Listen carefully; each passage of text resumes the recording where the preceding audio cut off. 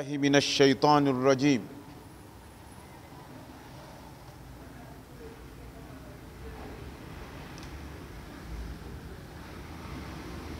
أعوذ بالله من الشيطان الرجيم. بسم الله الرحمن الرحيم. الحمد لله رب العالمين. والصلاة والسلام على رسول الله صلى الله عليه وآله وسلم وعلى آله وصحابته الكرام رضي الله تعالى عنهم أجمعين. رب اشرح لي صدري ويسر لي أمري واحلل عقدة من لساني يفقه قولي. أعوذ بالله السميع العليم. من الشيطان الرجيم من همزه ونفخه ونفثه tupo katika mwezi wa Shaaban tukiwa tunakwenda katikati na kuianza kuingia mwishoni mwa mwezi wa Ramadhan. Mwenyezi Mungu Subhanahu wa Ta'ala atujalie katika watu ambao tutakaupata mwezi mtukufu wa Ramadhan na tuweze kufunga katika mwezi mtukufu wa Ramadhan na tuweze kuyafanya mambo mema katika mwezi mtukufu wa Ramadhan.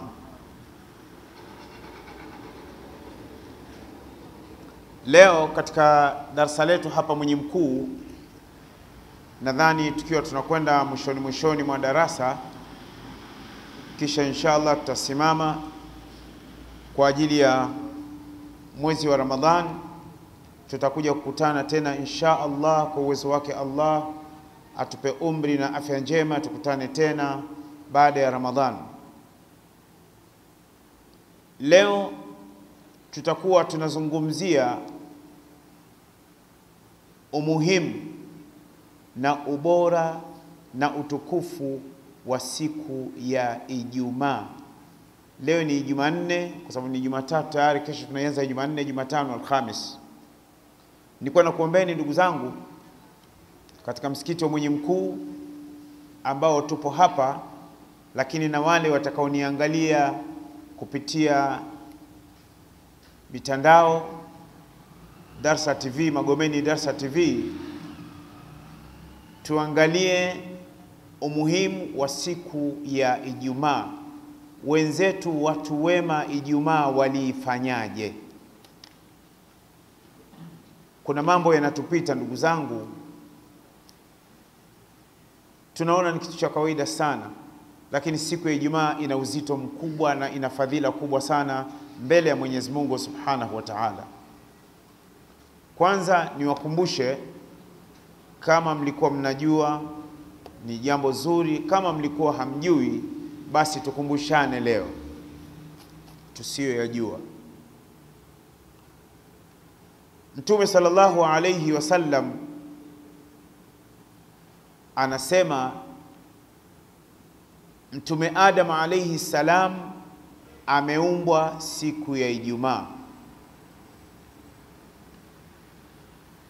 Mtume sallallahu alaihi wasallam anasema Mtume Adam ameumbwa siku ya Ijumaa, ndio siku aliyoumbwa Mtume Adam, na siku ya Ijumaa ndiyo siku ambayo Mwenyezi Mungu alimuingiza Mtume Adam peponi. Hilo ni jambo la pili, utukufu wa siku ya Ijumaa. Utukufu mwingine wa siku ya Ijumaa, siku ya Ijumaa ndiyo ambayo Mwenyezi Mungu alimkubali Mtume Adam toba yake, baada ya kuwa amekula ule mti, akawa amekubali toba yake. Jambo la nne la fadhila siku ya Ijumaa, ndiyo siku ya Ijumaa mwanadamu wa kwanza kuja kuishi katika ardhi hii ni Mtume Adamu alaihi salam pamoja na mama Hawa, viumbe wawili ambao ni mke na mume walikuja kuanza maisha mapya katika dunia hii.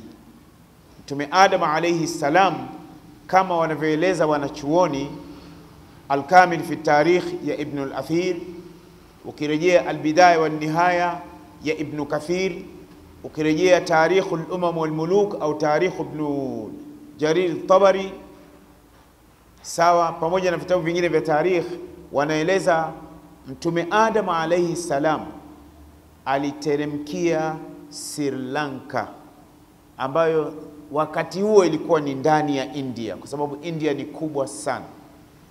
Ateremkia katika mlima unaoitwa wenyewe watu wa Sri Lanka wanauita Jabal Baba Adam, Jabal Baba Adam, ndipo alipoteremkia kule. Na ukirejea katika kitabu kingine kinachoitwa Ar-Rawdu al-Mi'tar fi Khabar al-Aqtar, kimeandikwa na mwanachuoni Abdul Mun'im al-Himyari rahimahullah, kimefanyiwa uhakiki na Ihsan Abbas na kuchapishwa na Maktabatu Lubnan kwamba Mtume Adam alayhi salam ameteremshiwa katika mlima ule, na mama Hawa aliteremshwa tofauti na mzee Adam. Mama Hawa alikuja kuteremka, yani walitenganishwa kipindi kile. Mama Adam um, samahani, astaghfirullah. Mama Hawa yeye akateremshiwa katika pwani ya Jidda, albahru alahmar, ndipo aliteremkia pale. Mzee Adam akateremkia kule, wamekaa miaka ambayo haijulikani uhakika idadi yake. Wakaja wakakutana fungo tatu siku ya Arafa pale Arafa, fataarafa wakakumbukana pale kwamba yule ni Adam na Adam akajua yule ni Hawa. Hawa akajua kwamba yule ni Adam na Adam akajua kwamba yule ni Hawa. Wakasogeleana karibu taratibu taratibu, mwisho wakajuana. Na kujuana kwao ni kwamba Arafa walikuwa ni viumbe wawili tu wakati ule, siku ile ya Arafa walipokutana pale, walipokutana pale kwa mbali Mtume Adam anaona kiumbe mrefu sana anakuja kwa mbali, na mama Hawa kwa mbali anaona kiumbe mrefu sana, wakawa wanasogeleana kwa hofu. Hatimaye wakasogeleana karibu, fataarafa, wakakumbukana na wakajiwana na wakatambuana, wakayakumbuka yale yaliyopita kuanzia pale kama alivyoeleza Imam Qurtubi rahimahullah alipokuwa anaitafsiri hii aya fa idha afadtum min arafatin katika surat al-Baqara. Sasa baada ya pale wakaanza maisha, wakaja mpaka Maka mjini. Walipofika Maka mjini, wakaanza maisha pale, na ndipo walipowapata watoto wao wawili wa kiume Qabil na Habil na mpaka mmoja alipomuua ndugu yake baada ya maziko. Mtume Adam alaihi salam kama baba, yeye na mkewe, kile kitendo kiliwahuzunisha sana sana sana sana, naye mwenyewe yule aliyemuua mwenzake akawa hajui namna gani atamzika, sababu alimuua pahala pa faragha ili baba na mama wasijue. Mwenyezi Mungu akamletea kunguru kama ilivyo katika Qur'an, akamtuma kunguru. Kunguru wale wakagombana, wakagombana, mmoja akamuua mwenzake, ile kunguru akawa anafukua chini, mwisho akamtumbukiza mwenzake kwenye lile shimo, akawa anafukia, na yeye ndio akapata kujua kwamba atamfukia vipi, lakini baba na mama wakawa wameshajua kwamba huyu kamuua ndugu yake. Kisa ni kirefu, ni vizuri kurejea katika vitabu vya wanachuoni wa tafsiri ambao wameeleza hicho kisa katika hizo aya. Sasa baada ya pale, baada ya pale Mtume Adam alaihi salam na mama Hawa wakaondoka zao pale. Mtume Adam akarudi kule alikokuwa ameteremkia, akarudi Sri Lanka na umauti wake ukamkuta kule. Mama Hawa akarudi hapa Jidda kwa kumsubiri muda mrefu mzee Adam alayhi salam, lakini hatimaye mama Hawa alayhi salam naye akawa amefishwa na amezikwa pale Jidda, na pale Jidda mjini pana makaburi yanaitwa makbaratu ummuna Hawa, makaburi yani makaburi ya mama yetu Hawa. Kaburi lake ambalo tumewahi kwenda pale, yani sababu alikuwa ni mrefu. Mtume Adam na mama Hawa alayhi assalam walikuwa ni warefu.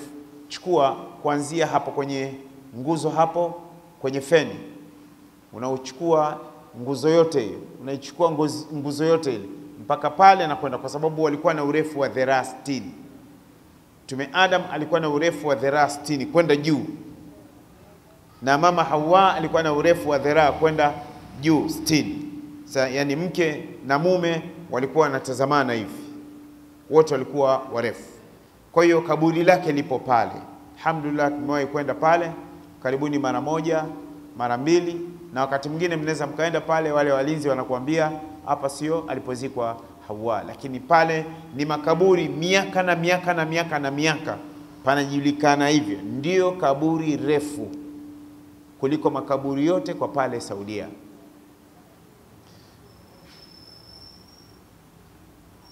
Mtume Adam, jambo lingine, amefariki siku ya Ijumaa.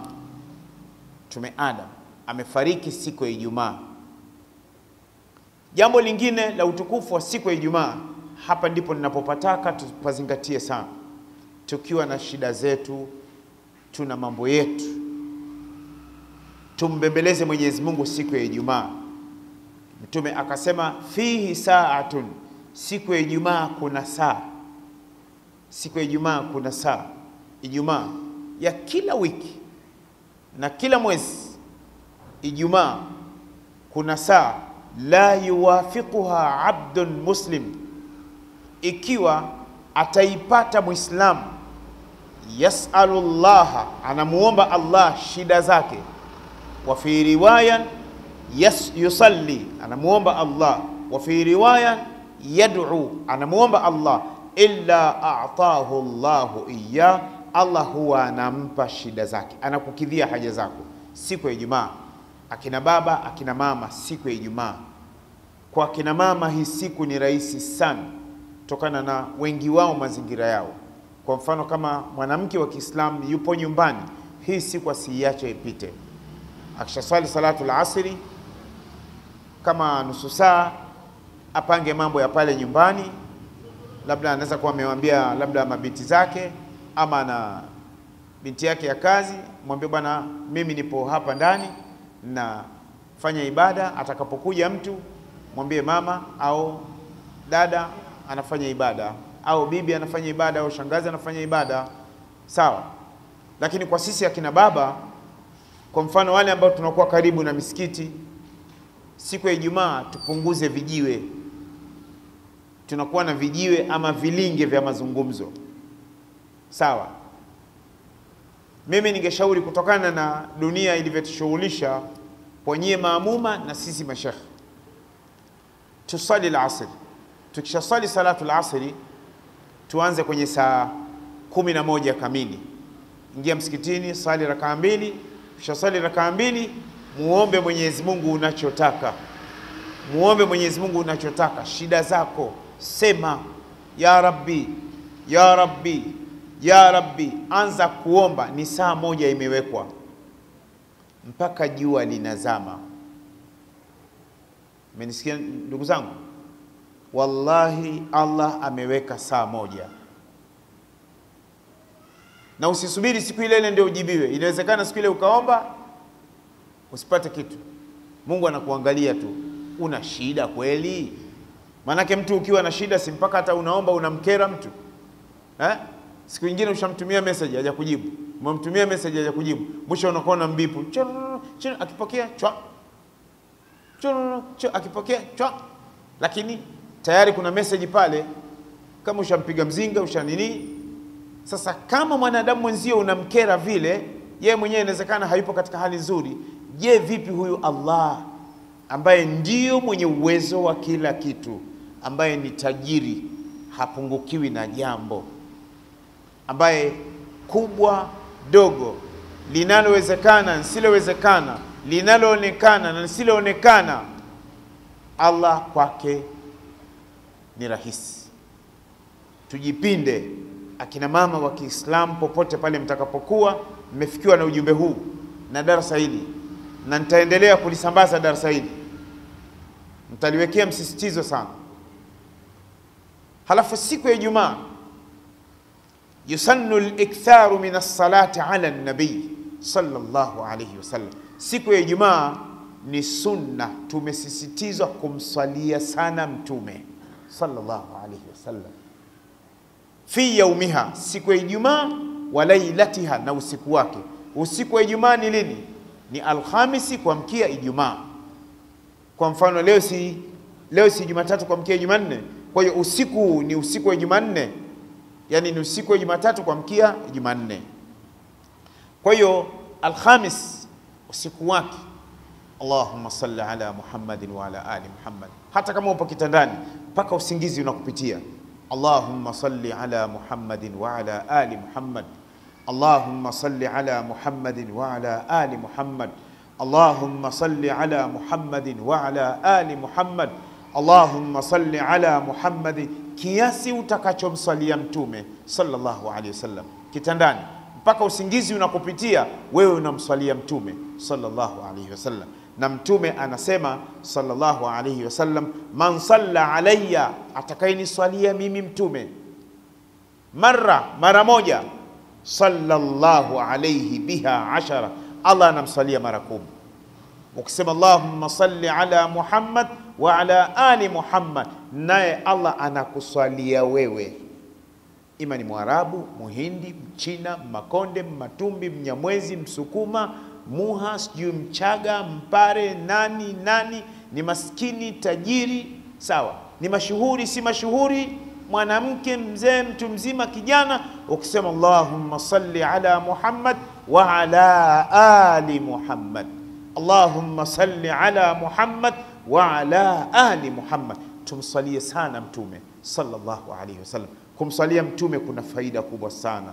Kumsalia Mtume unapata radhi za Mwenyezi Mungu kumswalia mtume Allah na wewe anakusalia. Kumswalia mtume unashiriki na malaika kumswalia mtume. inna Allaha wa malaikatahu yusalluna ala nabi ya ayuha alladhina amanu sallu alayhi wa sallimu taslima. Allahumma salli ala Muhammad wa ala ali Muhammad. Hata kama unatembea, kumsalia mtume ni baraka katika maisha yako. Kumsalia mtume kuna baraka katika kazi zako kumswalia mtume kuna baraka katika afya yako. Kumswalia mtume sallallahu alaihi wasallam kuna baraka katika kuishi kwako duniani mpaka kesho akhera. Mtume sallallahu alaihi wasallam anasema, inna min afdali ayamikum, hakika katika masiku yenu yaliyokuwa bora sana katika uhai wenu na kwa wiki, yauma aljumaa, ni siku ya Ijumaa. Inakuwaje ya rasulllah hii siku ikawa bora siku ya Ijumaa? Akasema faakthiru alayya min salata fihi, niswalieni kwa wingi sana. Fa inna, fa inna salatakum ma'rudatun alayya, hakika nyinyi kuniswalia mimi ninaoneshwa. Yani ukisema Allahumma salli ala Muhammad wa ala ali Muhammad, anajua huyu ni Mwajuma ama huyu ni Zaituni ama huyu ni Zainab, huyu ni Sulaiman, huyu ni Khamis, sawa, huyu ni Jafar, sawa, wananiswalia hawa. Allahumma salli ala Muhammad wa ala ali Muhammad. Rawahu Abu Daud, hadithi 1047 wa ghairuhu bi asanida sahiha. Hiyo ni fadhila ya siku ya Ijumaa. Katika siku ya Ijumaa yusannu laka ayuha almuslim, ni sunna kwako ewe Mwislamu mwanamume na mwanamke, aliktharu min addua, kuomba sana. Yani siku ya Ijumaa tuwe na dua sana, kila mtu aombe kivyake vyake. Yani ikiombwa dua kwa pamoja msikitini, ahlan wa sahlan. Siku ya Ijumaa unataka wewe kama wewe una shida zako kwa Allah, omba wewe kama wewe. Qala sallallahu alayhi wasallam, Mtume anasema fiha, katika siku hiyo ya Ijumaa, saatun kuna saa. Na nisikia Waislamu, saatun, ipo saa. Siku ya Ijumaa. Kuna saa. La yuwafiquha abdun muslim, ikiwa ataipata Muislamu wa huwa qaimun yusalli, amesimama anamuomba Allah, yasa anamuomba Mwenyezi Mungu chochote chochote, shaia chochote, illa a'tahu iya, Allah anampa shida yake kile alichokiomba.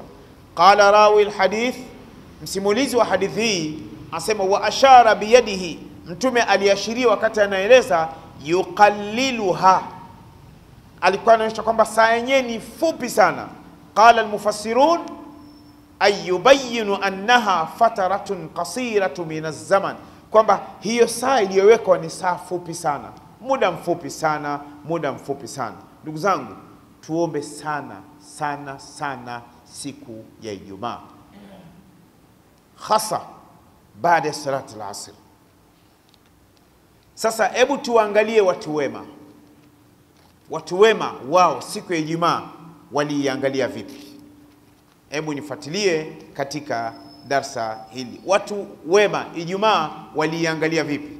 As-salafu salih wa asr yaum al-jumaa, watu wema waliotangulia masahaba na waliokuja baada ya masahaba, kipindi cha masahaba, wao siku ya Ijumaa waliiangalia vipi?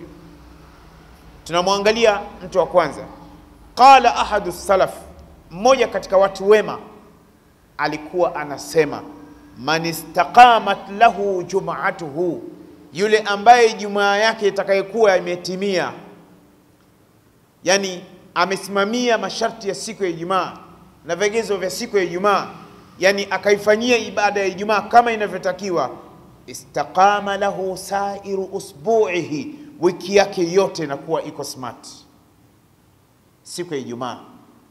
Kwa hiyo siku ya Ijumaa tuipe kipaumbele ambacho kuliko tofauti na siku nyingine, siku ya Ijumaa.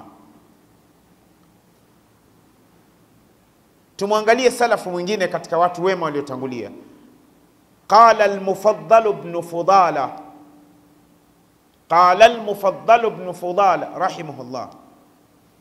Huyu Mufaddal anasema hivi idha samani, anasema kana al-Mufaddal Fudala huyu salaf katika watu wema waliotangulia alikuwa huyu mwanachuoni Almufaddal ibn Fudala, idha salla asra yaum ljuma yeye alipokuwa akishaswali alasiri siku ya Ijumaa, khala, anakaa faragha, anakaa kivyake vyake, anakaa kipekee pekee, fi nahiyati lmasjid, katika kwa mfano kama pale kwenye ukuta au kama kwenye kona au kama pale, yani anakaa kivyake vyake, wahdahu, peke yake. Fala yazalu yad'u, anaendelea kuomba baada ya swala la siri, hatta taghruba shamsu, mpaka jua linazama. Hizi habari unarejea katika akhbaru qudat, ndio imeandikwa katika hichi kitabu.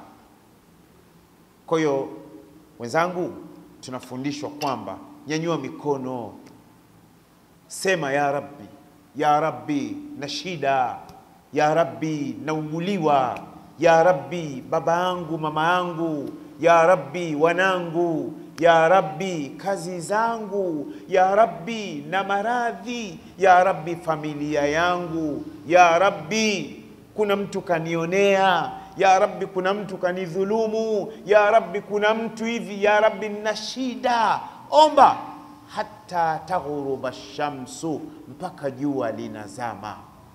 Nasemaje? Mpo tayari? Naam, hawa ni watu wema waliotangulia. Tumeelewana vizuri? Watu wema hao. Na kwa nini tunawataja watu wema?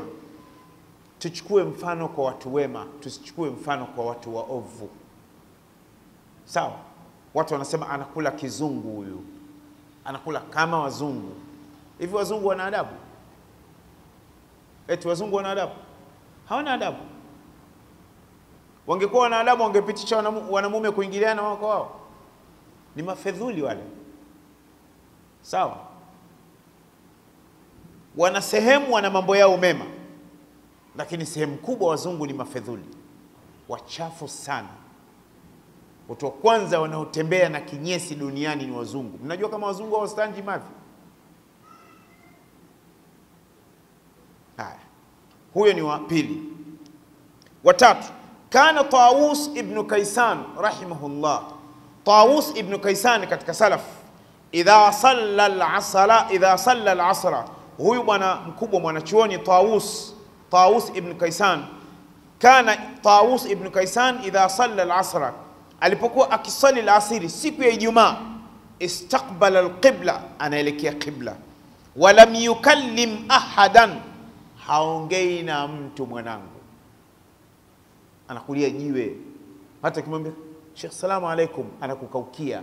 Lam yukallim ahadan. Umenisikia hivyo? Kuna watu wengine ukimkuta mtu anavuta tasbihi anafanya nyiradi, mwache. Tumeelewana vizuri? Kama una shida naye mkaukie nje, msubiri.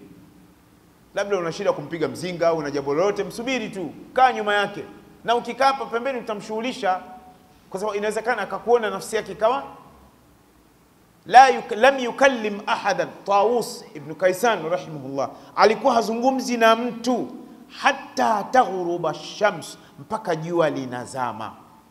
Rejea katika Tarikh Wasit. Hawa ni watu wema, sijui mmenielewa ndugu zangu, watu wema hawa. Siku ya Ijumaa mimi na wewe tunafanyaje? Subhanallah, salaf tunakwenda mtu mwema katika watu wema wanne huyu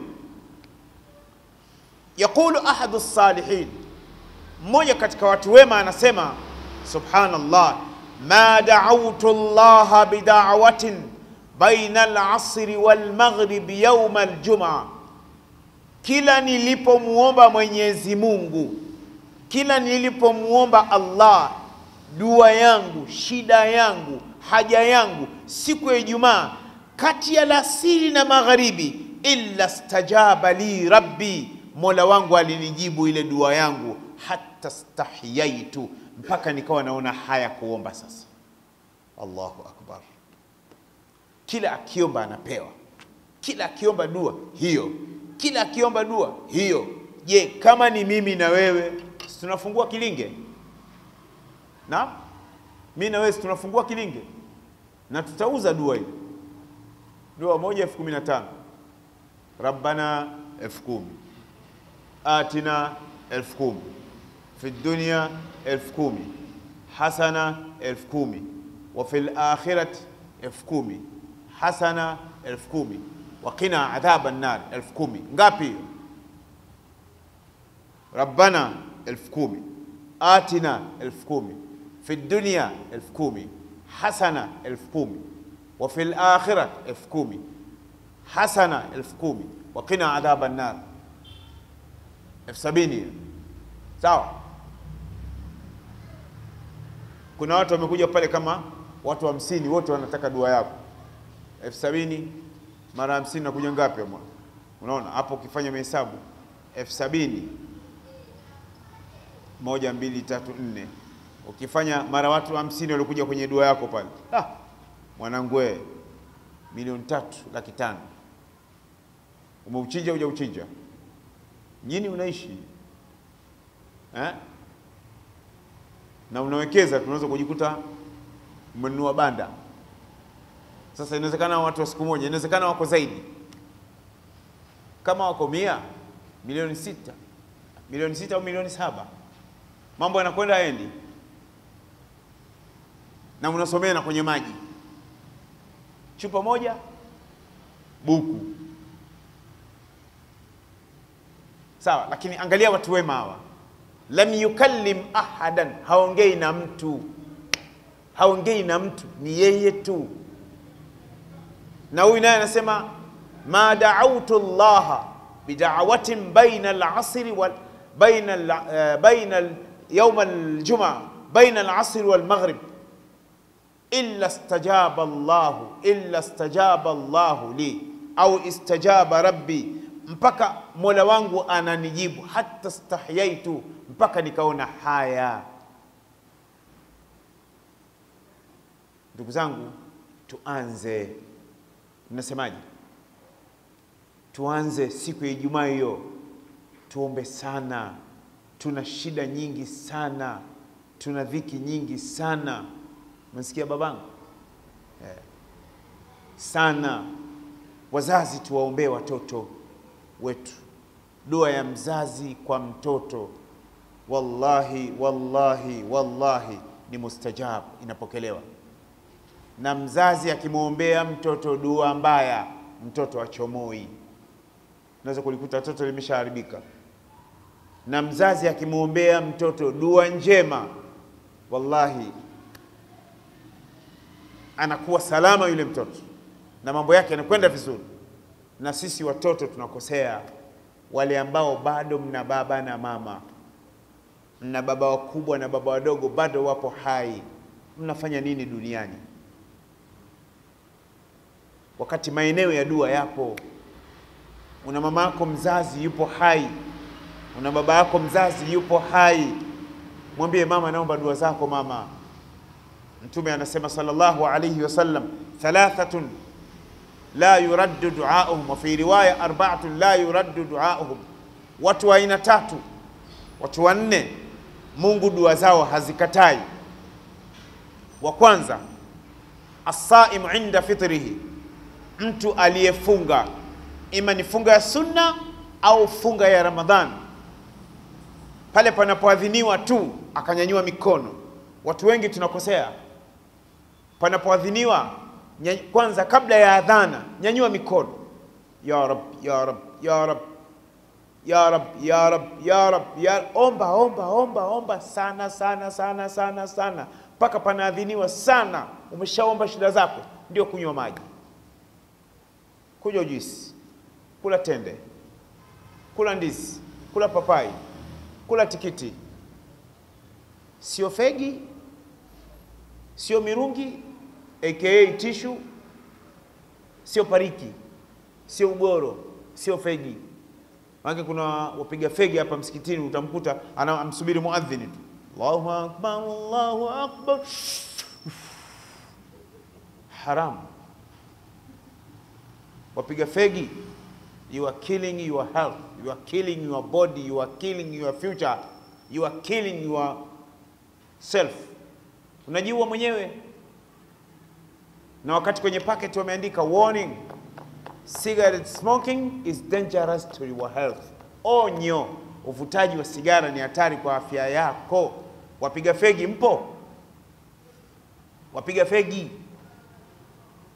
sigara ni haram because the cigarette is a poison. Sigara ni haramu kwa sababu ni sumu.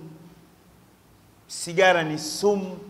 Sigara ni sumu, haifai. Yaani mtu kwa siku anavuta paketi mbili. Paketi moja na sigara ngapi? Naam. Sasa kwa siku anavuta sigara arobaini, inakuwaje?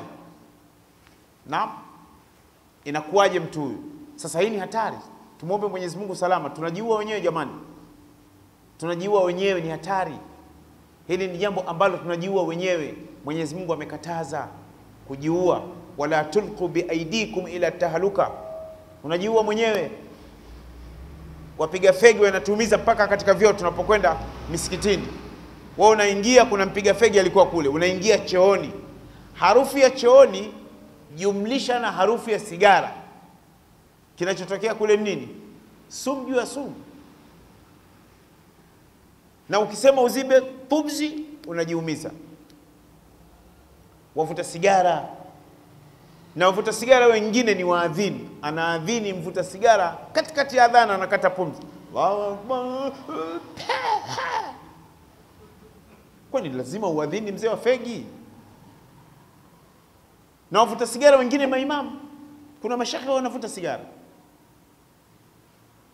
wanasema karaha, sigara ni karaha. Asalala, sigara ni karaha. Eti kwenye transformer pameandikwa nini?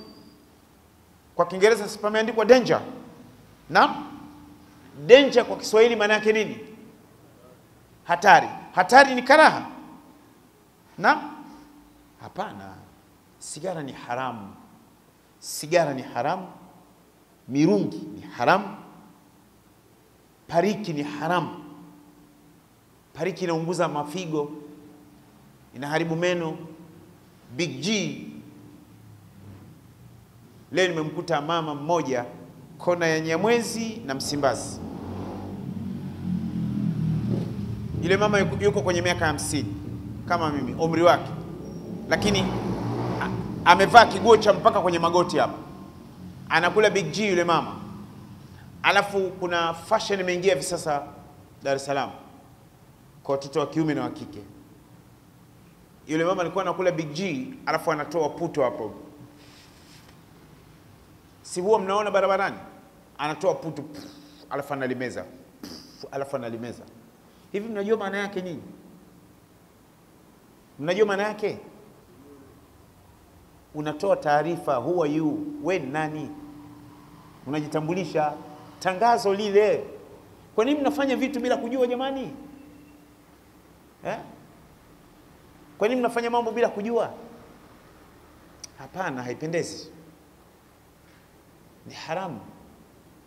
Sigara ni haramu. Nasema sigara ni haramu. Muulize daktari yoyote, sigara ni haramu kwa sababu ni sumu, ni haramu. Mirungi siku hizi inaitwa tishu, aka tishu. Ukisikia wanasema bana, kanichukulie tishu, ujue umeingizwa mjini. Mirungi hiyo. Pombe, kuna pombe inaitwa sanitizer, alafu kuna double kick, alafu kuna pombe inaitwa juisi ya miogo gongo hiyo, alafu kuna oxygen bangi. Hivi vyote ni haramu. Yani toto linakuwa lime, yani vijana wameharibu umri wao. Yani mtoto mdogo sana kama huyu kijana, mtoto mdogo sana unamkuta amekuwa babu. Babu kabisa, babu, mtoto mdogo. Anaitwa mwana. Mwana ah, mwana. Kama naona niko sounds hivi. Ah, nakumbuka Jobegi, ndipokuwa Jobegi vile ah, mwana kenda Jobegi mwana ah, baba Ah, mama umenikumbusha mbali. Mitoto imekuwa mipusha, mtoto wa kiume hawasikii. Najua huko mtaani wananisikia huko, huyu Msagani anazipata wapi? Mi nakaa mjini, afu wengine mateja wengine washikaji wangu natania nao, afu katika moja ya teja teja ukimpa elfu, mo, elfu kumi umemuua, kalu ataingia ICU teja teja la mia mbili tu. Ah, asante baba, ah, umenitoa mbali baba, yani, yani najisikia raha mwilini baba. mia mbili hiyo teja. Sasa hii yote ni haramu. Alichokikataza Mwenyezi Mungu ujue ni haramu, ni haramu, na dunia ndiko inakokwenda sasa. Waislamu tusimame imara, wanamume wote Tanzania na wanawake tusimame imara. Ushoga tuseme hapana, tusimame pamoja na Mheshimiwa Rais pamoja na timu yake na Mheshimiwa Mufti, tumuunge mkono shekhe wetu wa Tanzania Mufti, tusimame naye, tupige kelele wote, sauti moja, haramu. Na kama kuna mwanamume ataonekana anatetea hiyo mwanangu akisema kwamba hii ni haki yake mtu aachwe, kwanza mwanamume yule naye vile vile anaingizwa chupa. Shenzi, ana adabu, aone aingizwe chupa, aone kama ataishi. Eti ukiingizwa chupa unabakia duniani wewe, afu inaingizwa chupa yenyewe yote ya Pepsi, afu ndio utasema hii ni haki yako. Pumbavu wakubwa, anataka kutuletea udojo hapo. Ushoga marufuku, sijui mmenielewa? Mmenielewa wanaume? Tikieni kama watu wa TMK. Wanaume, marufuku. Hatutaki ushoga ndani ya Tanzania, ni marufuku, marufuku, ni haramu, ni haramu. Hiyo misaada yenyewe basi na Mungu ajalie kama kuna ndege ndio inasema inaleta mi, misaada inaleta au meli, basi Mungu huko huko huko awamalize, tubakie salama. Hii ni hatari ndugu zangu. Kwa hiyo tuwaige watu wema, watu wema walifanya mema, watu waovu tuachane nao. Kiongozi yoyote wa dini anayemjua Mungu anaweza akaruhusu hili. Ukimwona kiongozi wa dini, kiongozi anayedai kwamba yeye ni kiongozi wa dini anaruhusu hili, ujue yeye mwenyewe choko mshenzi.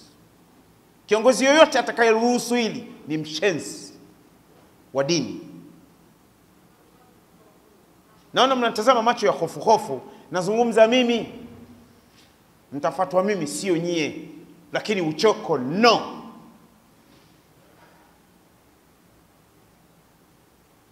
Astaghfirullah alazim. Ndugu zangu, kuna shule moja hapa Dar es Salaam siku mwezi uliopita, siku ya wapendanao, mwezi uliopita. Mimi ni mwalimu, siku zote wanasema mimi ni mwalimu. Sasa walimu tuna kawaida, sometimes tunakutana tunapeana hili na lile, kama vile watu wa michezo au wafanyabiashara wanapokaa pamoja, si mazungumzo yao yanakuwa kibiashara biashara, e bana, kule ni hivi hivi na hivi. Basi na sisi walimu ni kama hivyo. Kuna shule moja mwezi uliopita, siku ya wapendanao, kama ndio kesho, watoto wale shule ya msingi wameambiwa na watoto, wazazi wakapewa taarifa, nadhani kwenye group, wale watoto waende na nguo nyekundu na biskuti na soda. Why? Kwa nini? Limadha? Lesh? Kwa nini? Hawa walimu ni sawa sawa kweli? Hawa walimu hao, kwa nini watoto mnawazoesha, mnaanza kuwazoesha siku ya wapenda nao? Hii hatari.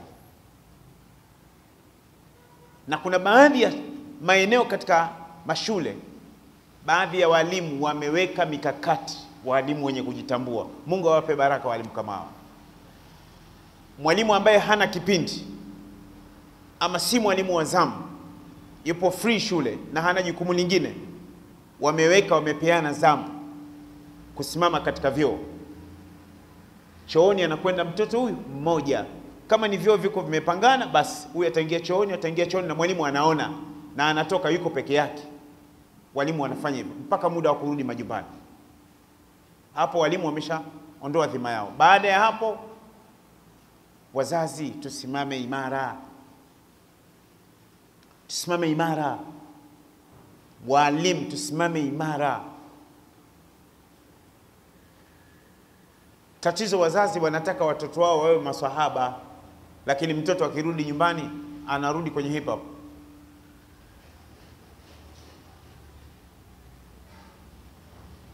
Sasa hawa ni watu wema.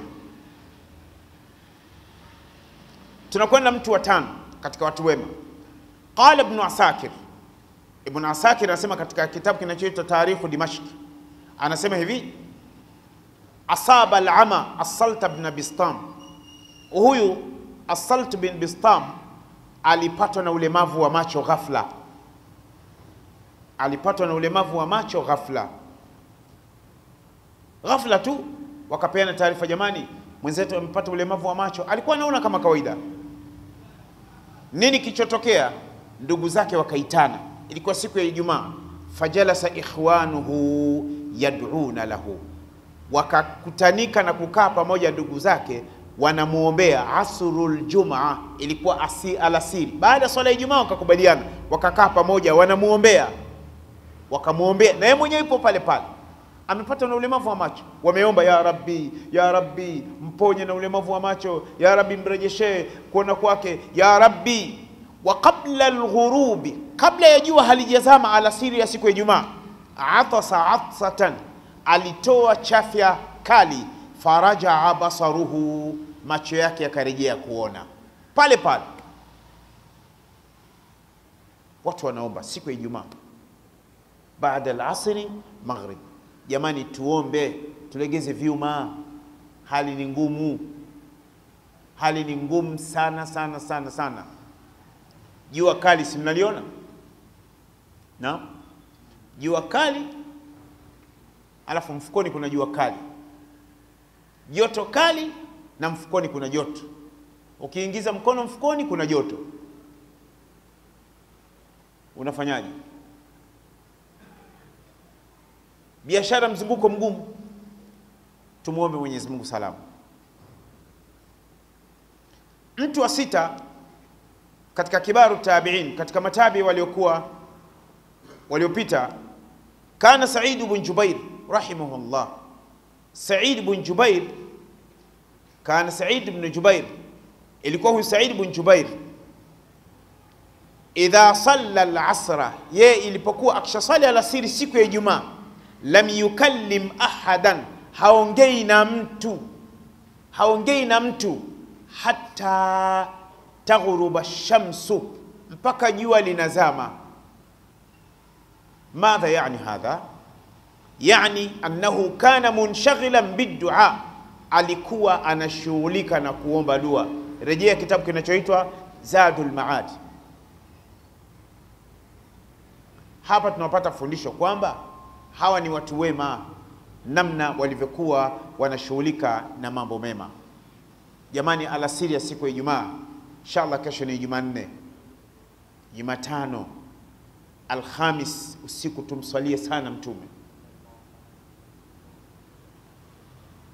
Upo kitandani, Allahumma salli ala Muhammadin wa ala ali Muhammad, Allahumma salli ala Muhammad. Na kwa uzoefu wangu mimi Wallahi, kitandani humswalii mtume zaidi ya mara hamsini, lazima usingizi utakupata, kwa sababu unakuwa upo free. Lakini kama hujafanya uradi wowote kitandani, ah, unajikuta usingizi haupo, utajikuta una chati tu. Ndio maana ukichati usingizi hauji, unaweza kujikuta eh, saa saba ndio unalala, na ukilala pakiadhiniwa hapo sasa kutoka kitandani kama umefungwa kilo mia mbili mwilini, ukinyanyuka, sababu sheitan, kwa mujibu wa Mtume sallallahu alaihi wasallam, hadithi sahihi, sheitan ana mkojo, huwa anatukojolea puani. Sheitani huwa anatukojolea puani, na mkojo wa sheitani ni kama vile kokeni, unalewesha kama bangi. Sasa ndio maana mtu alfajiri akigeuka huku taabani akigeuka huku taabani, akigeuka huku taabani, mkojo wa sheitani kama pombe. Kwa hiyo tulale na nyiradi, ndugu zangu, tujitahidi kulala na nyiradi kama alivyolala Mtume sallallahu alaihi wasallam. Mtume alipokuwa akitaka kulala alikuwa anaweka mikono namna hii kitandani, ame, amekaa kitandani ama amenyosha miguu, anaweka viganja namna hii. Mnaniona nilivyofanya? Anaanza bismillahir rahmanir rahim Qul huwallahu ahad Allahu samad lam yalid wa lam yulad wa lam yakun lahu kufuwan ahad Bismillahir rahmanir rahim Qul a'udhu bi rabbil falaq min sharri ma khalaq wa min sharri ghasiqin idha waqab wa min sharri an-naffathati fil 'uqad wa min sharri hasidin idha hasad Bismillahir rahmanir rahim Qul a'udhu bi rabbin nas malikin nas ilahin nas min sharri al-waswasil khannas alladhi yuwaswisu fi sudurin nas min al-jinnati wan nas kisha anapuliza hapa kisha anajipakaza hivi mwili mzima, ateremsha mpaka miguuni, pahala pote mikono yake inapofika, anarudia tena, anafanya hivyo mara ya pili, anapuliza, anafanya hivyo mara tatu, kisha anasoma ayatul kursi, Allahu la ilaha illa huwa alhayyul qayyum. La ta'khudhuhu sinatun wala nawm له ما في السماوات وما في الأرض. من ذا الذي يشفع عنده إلا بإذنه يعلم ما بين أيديهم وما خلفهم ولا يحيطون بشيء من علمه إلا بما شاء. وسع كرسيه السماوات والأرض ولا يؤوده حفظهما وهو العلي العظيم. Akimaliza kama unaifahamu amana rasulu sawa. Huifahamu basi unalala. Na ukilala kiganja chako hiki. cha mkono wa kulia unakiweka hapa Allahumma inni aslamtu nafsi ilaik wa wajjahtu wajhi ilaik wa fawwadtu amri ilaik wa alja'tu dhahri ilaik raghbatan wa rahbatan ilaik la malja' wa la manja minka illa ilaik amantu bi kitabika alladhi anzalta wa bi nabiyyika alladhi arsalta ukimaliza unachukua kiganja chako unakiweka chini ya kidevu rabbi qini adhabaka yawma tab'atu 'ibadaka rabbi qini adhabaka. Ukimaliza hapo, Mtume sallallahu alaihi wasallam ametufundisha unasoma subhanallah mara 33, alhamdulillah mara 33, Allahu akbar mara 34, kisha lala. Umelala, umejikabidhi, umejisalimisha, umelala na radhi za Allah. Lakini mimi kama mimi nimejiongezea cha ziada, huwa namswalia Mtume sallallahu alaihi wasallam. Siku za kawaida huwa namswalia Mtume mara 35, lakini usiku wa kuamkia Ijumaa huwa napiga mara 55, namswalia Mtume sallallahu alaihi wasallam. Hii ni yangu mimi, nimejiongeza kwa kumswalia Mtume sallallahu alaihi wasallam. Utaniuliza nimeipata wapi, nimeitoa wapi? Aya kuhusu ni mimi namswalia Mtume, shughulika na yako sawa. Mimi namswalia Mtume, mimi nimeipata wapi? Nimemfata Mtume Madina, we nenda Washington, sawa, au nenda Urusi. Kwa hiyo ninalala. Tumeelewana? Hivi ndivyo walivyolala watu wema. Watu wema walilala namna hii. Tumeelewana ndugu zangu? Watu wema walilala hivi, na mimi nimeamua kuisema namna hii kwa faida. Kinyume cha hivyo, na maana nisingesema. Mwenyezi Mungu aweke katika mizani ya wazazi wangu na walimu wangu. Tumeelewana ndugu zangu? Tumeelewana? Hivi ndivyo watu wema walivyokuwa wakilala. Kwa leo tuishie hapa mpaka tutakapokutana insha Allah kesho, na kesho insha Allah tutamaliza darsa letu, tutafunga darsa letu insha Allah, na mpaka tutakapokutana tena baada ya Ramadhan insha Allah. Allah atupe afya njema, atuondolee mazito katika maisha yetu. Kuna wagonjwa wapo hospitali, wengine leo wametibiwa, wengine wamelazwa, wengine wamefanyiwa operesheni, wengine matibabu yao yameshindikana, lakini tunamwomba Mwenyezi Mungu, si katika watu wema, lakini Mwenyezi Mungu ameshasema niombeni, nitakupeni. Basi kwa rehema zake Allah tunamwomba apokee dua zetu, awape afya njema wagonjwa wote, awaondolee maradhi maradhi mepesi na mazito. Mwenyezi Mungu awaondolee nayo, na Mwenyezi Mungu atupe vizazi vyema. Mwenyezi Mungu atuepushe na uovu na uchafu wa watu waovu kutoka Ulaya ambao Mwenyezi Mungu atujalie Watanzania tubakie salama na maadili yanayomridhisha Mwenyezi Mungu Subhanahu wa Ta'ala. Wa sallallahu wa sallam ala nabiyina Muhammad wa alihi wa sahbihi wa sallim. Subhanakallahumma wa bihamdika nashhadu an la ilaha illa anta nastaghfiruka wa natubu ilayk. 11 kaa kwenye kiti chako hapo eh, na baba mzee Saidi, nawe kaa kwenye kiti chako, kula jiwe hapo, mwambie wazi kabisa Mungu, Mungu wewe, mimi nina shida moja mbili tatu, mpaka jua mpaka saa kumi na mbili kamili, mimi sina wasiwasi, Mwenyezi Mungu inshallah atakusaidia. Tumeelewana jamani? Eh, kaa kwenye kiti hapo hapo ulipo. Hata kama miguu ni mizito basi hivyo. Ukikaa sana, nyosha miguu, kaa chini, nyosha miguu. Tumeelewana jamani? Tumeelewana? Tuanze Ijumaa. yeah. Mambo yakikunyokea usinipe taarifa, siri yako usitangaze. Shekhe, mambo yamekuwa mazuri. Aa, neema haitangazwi, kaa kimya. Tumeelewana vizuri? Kesho ni Jumanne, Jumatano, Alhamis, siku wa kuamkia Ijumaa, tumswalie sana Mtume sallallahu alaihi wasallam na asubuhi yake, sawa. Baada ya hapo, yani hivi ndivyo watu wema walivyokuwa wakifanya. Maanake jambo ambalo Rasulullah amelieleza, ina maana amelipa msisitizo. Sasa ni mimi na wewe, sasa tunafanya nini? Sasa mimi na wewe tunafanya nini? Kwa hiyo tujitahidi inshallah, na Mwenyezi Mungu atafanya wepesi inshallah. Swali. Salamu rahmatullah. Eh, yani maana yake ni kwamba kama unaweza baada ya alasiri fanya kama vile unaendesha gari, ukifika kwenye kona unaweka mia moja na mia mbili spidi mia mbili utakayemkuta kwenye kona huyo unaondoka naye. Hiyo ni kwa dua. Maana yake ni kwamba usiwe na subira kwenye dua, sema. Na kama una mambo yako ya siri, ukiwa peke yako utasema, lakini sasa msikitini unaweza ukasema kuna watu wengine sema bane, jamani, nimemsikia anaomba hela, hana hela, anaomba dua, Mungu naomba hela, Mungu naomba hela. Siku moja Hasan ibn Ali bin Abi Talib radhiyallahu anhu, mwanaye Ali bin Abi Talib alimsikia mtu msikitini, katika msikiti wa Mtume sala sama, anaomba e, Mungu we, sina hela, mambo yamekuwa magumu, sina hela, Mungu wangu we, Mungu wangu we. Hasan ibn Ali akaenda nyumbani akachukua pochi akaja akambwagia pale, afu akaondoka zake. Jamaa alipomwagiwa pale pale lile pochi, naye dua alhamdulillah akaondoka nalo. Dua ime, imetiki hiyo. Alichokuwa naomba tayari kimshakuja, sasa afanye nini? Au unasemaje? Wewe utaendelea kuomba wewe kwa mfano naomba e Mungu e, Mungu e, ya Rabbi nina shida, Mungu ya Rabbi nina shida, ya Rabbi nina matatizo, ya Rabbi. Alafu kuna mtu anakuja tu anakuingiza mkono mfukoni hapo eh?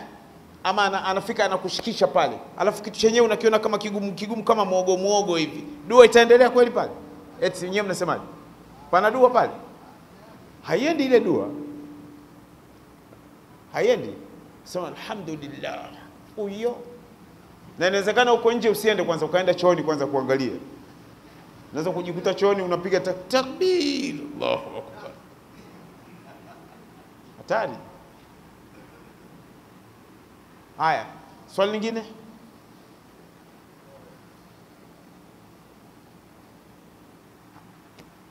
Amna swali lingine?